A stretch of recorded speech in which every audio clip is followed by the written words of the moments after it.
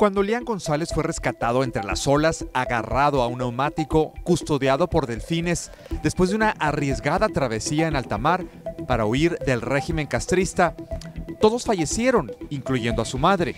Muchos hablaban de un milagro, pero muy a pesar de los posibles daños psicológicos, el trauma, la historia, lejos de navegar en aguas tranquilas, se convirtió en una tormenta propagandística de la dictadura cubana y los sectores más reaccionarios del exilio.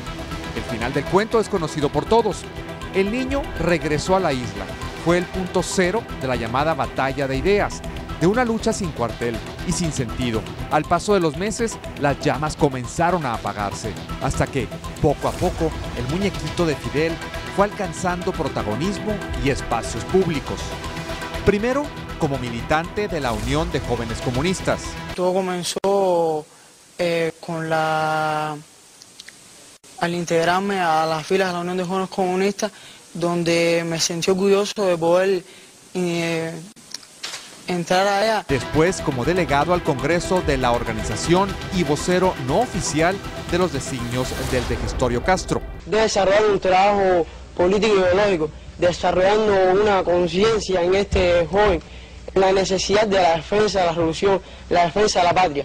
Sin embargo, a pesar de los lujos y los mimos gubernamentales, el hoy cadete de la Escuela Militar Camilo Cienfuegos vive en una burbuja, con seguridad personal, alejado y con un lavado de cerebro al mejor estilo de lobotomía revolucionaria. De la revolución, nuestro comandante, el presidente Raúl, eh, nosotros somos los que debemos eh, marchar en la vanguardia para cualquier tarea que se nos asigne.